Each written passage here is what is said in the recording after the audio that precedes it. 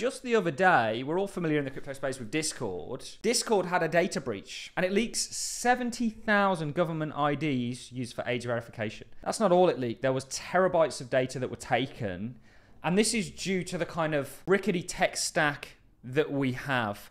And what I want to do, we've not spoken about ICP in a while, is just reintroduce to people what it's trying to do. But one thing I am looking for is when the spotlight shifts to this new narrative for uh, utilizing a distributed ledger that I think is absolutely huge. Right now, the, the narrative is all around financial products, but there's a broader application for DLTs, and ICP is it. Internet Computer is truly a revolutionary uh, blockchain project. And I often see people comparing ICP with other distributed ledgers.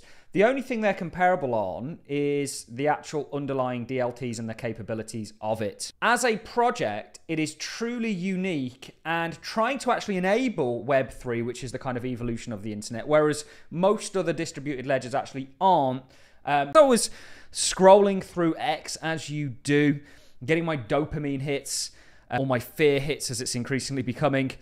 I saw this. This is from Dominic Williams. A cyber attack has taken out Jaguar Land Rover's production line, sales, and supply line. It's only alive thanks to a $1.5 billion, this is pounds actually because we're here in the UK, government loan. ICP enables responsible AI to create self writing production apps from tamper proof on chain software. The way things are built on the internet is based on a kind of almost at this point archaic tech stack, kind of like what's happening with the financial system. Whereas most cryptos are addressing the financial system, ICP is actually addressing the internet and how that's put together. And this makes ICP unique and something to pay attention to.